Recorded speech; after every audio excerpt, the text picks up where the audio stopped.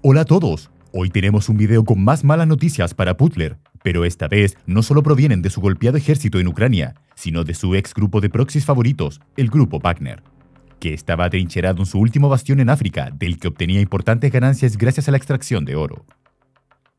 Ahora, una coalición de grupos armados en el norte de Mali que está habitado predominantemente por la tribu Tuareg afirmó el sábado haber matado decenas de soldados del gobierno y de mercenarios rusos de Wagner en una batalla de dos días cerca de la frontera con Argelia. En las redes sociales se difundieron una gran cantidad de videos filmados por los Tuareg que mostraban los cuerpos sin vida de varios hombres blancos y soldados malienses esparcidos por el suelo, junto a vehículos blindados destruidos.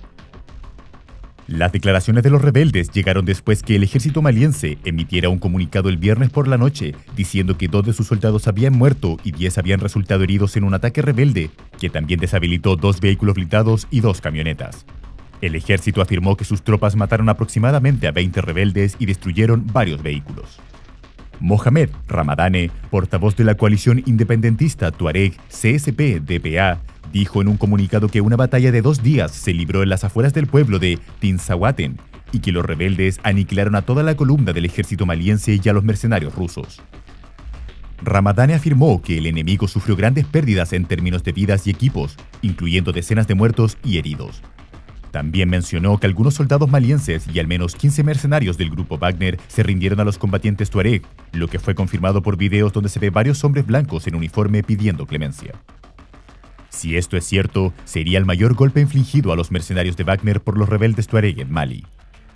Los combatientes malienses han declarado en las redes sociales que están dispuestos a entregar a los mercenarios capturados a Ucrania como un signo de apoyo y solidaridad, hablando de alianzas inusuales que está creando esta guerra híbrida global. Una de las bajas más conocidas del grupo Wagner en este combate sería el famoso blogger ruso Nikita Fadianin, administrador del canal de Telegram oficial de Wagner Grayson, que tiene más de 500.000 seguidores y quien solía burlarse de los soldados ucranianos que caían en combate. Ahora está sufriendo el mismo tratamiento pero por parte de los rebeldes Tuareg, que han subido videos y fotos de sus restos. Los rebeldes también afirmaron que habían capturado vehículos blindados, camiones y cisternas durante los combates, que se extendieron entre el jueves y el viernes de la semana pasada, lo que es validado por múltiples videos donde se los ve conduciendo y revisando varios vehículos blindados tipo MRAP. También dijeron haber dañado un helicóptero artillado Mi-24 Hind que estaba dando apoyo aéreo a la columna de Wagner. Esta aeronave se terminó estrellando en la ciudad de Kidal. Sin embargo, no está claro qué relación podría tener su caída con los combates, dado que el ejército maliense informó que uno de sus helicópteros se estrelló el viernes mientras estaba en una misión de rutina, pero que no hubo víctimas fatales. Los Tuareg son un grupo étnico que habita la región del Sahara, incluyendo partes del norte de Mali. Muchos de ellos se sienten marginados por el gobierno maliense, por lo que un grupo separatista lanzó una campaña de insurgencia contra el gobierno de la Junta de Gobierno de Mali en 2012, pero el control de la rebelión fue tomado por grupos militantes islamitas. Se firmó un acuerdo de paz con el gobierno de Bamako en 2015, pero la coalición rebelde se retiró de las conversaciones a finales de 2022. Los líderes militares de la nación de África Occidental, que tomaron el poder en un golpe de Estado en 2020, han hecho de la recuperación de todo el país de manos de fuerzas separatistas y yihadistas una prioridad, particularmente en Kidal, un bastión independentista del norte.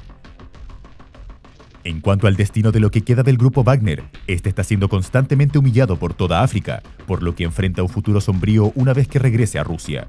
Sus líderes probablemente serán eliminados tanto en sentido figurado como físico, mientras que los mercenarios de bajo nivel serán enviados como carne de cañón al conflicto en Ucrania.